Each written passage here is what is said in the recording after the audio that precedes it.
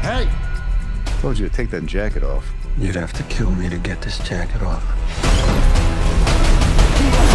Sometimes it's nice to step away from all the BS that modern Hollywood seems to spew out these days, like The Acolyte, and go watch an actual good movie. Who knew that that good movie would be The Bike Riders, a movie about a bunch of mostly straight white males in a motorcycle gang? But exactly what made The Bike Riders a good movie, and will it perform well at the weekend box office going forward? Join me, dear viewer, as I dive back into the cesspool that is modern Hollywood. Before we get into this, make sure to like and subscribe. It really helps the channel out with continuing to grow and it's totally free. So if you're new to the channel, you may not know that I live stream with a couple of very cool cats in Synth's Corner and Deleted Scenes. Every so often, when Regal or AMC does mystery movie nights, we stream our thoughts after the movie. And we've gotten some good movies, some bad movies, and stuff in between. This last time was a movie called The Bike Riders. Now, I have to confess that I had no intention of watching this film in theaters. For me, it was a streaming viewing at best. But I was pleasantly surprised that this was the movie that the theater decided to show us. Set in the 1960s, the film follows the rise of the Vandals MC, a Chicago outlaw motorcycle club. The film takes us through the early days of what led up to starting the club and throughout its life and evolution. Seen through the lives of its members and their families, the club evolves over the course of a decade from a surrogate family for local outcasts into a violent organized crime syndicate, threatening the original founders' unique vision and way of life. The story is told in a retrospective style from the point of view of Kathy, the girlfriend and later wife of one of the members, Benny, played by Austin Butler. She tells the story of the club to one of the hangers on who is writing a book about the club. In broad strokes, the movie's plot is fairly simple. Johnny, played by Tom Hardy, starts a motorcycle club mostly to formalize his group of friends that love motorcycles. Benny joins a bit later and is a bit of a newbie on the motorcycle but gradually learns the ropes. One night, in order to impress Kathy, played by Jodie Comer, he takes her out on a wild ride. It was love at first sight. But as the club continues to grow and grow, its reach extends across the country, which ends up changing the ethos and spirit of what its founding members stood for. A gradual, barely noticeable change begins permeating through the club and its members.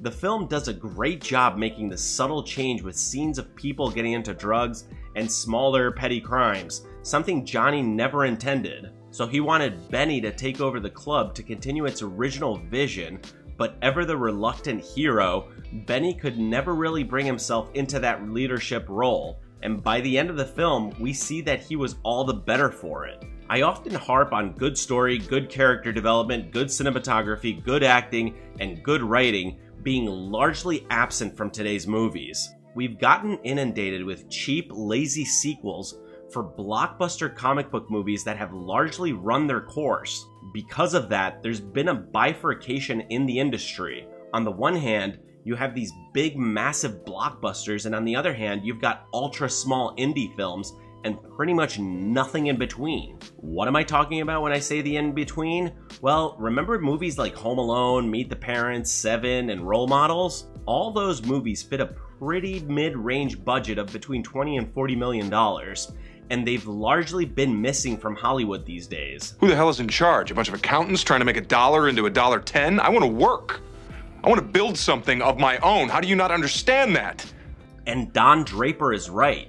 Don't get me wrong, Hollywood and cinema has always been a business, but the business side never got in the way of good creative as they have been lately. Dollars and cents, ladies and gentlemen, but isn't it better to have a $20 million movie rake in 80 million rather than risking 300 million to barely break even or lose money? And this is where a movie like The Bike Riders comes in. This is the movie that gets people's asses into theater seats. It's a well written narrative, acted out with great care and professionalism, with great character development and story arc. What more could one possibly ask for? If this movie was made back in the 90s, it would have been mostly lost in a sea of similar movies. But over the course of the dark age of cinema over the last 10 to 15 years, a movie like The Bike Riders is a rare gem in a big pile of turds. This is the type of movie that Hollywood needs to produce more of if they don't want to go bankrupt. As far as the acting is concerned, everyone turned in a great performance. Tom Hardy even tried to get his Marlon Brando on, and the movie sort of broke the fourth wall with the scene where he's watching one of Brando's movies. Likewise, Austin Butler steals a scene with his stoic portrayal of Benny. A stoic male character who doesn't whine like a little bitch or throw a temper tantrum?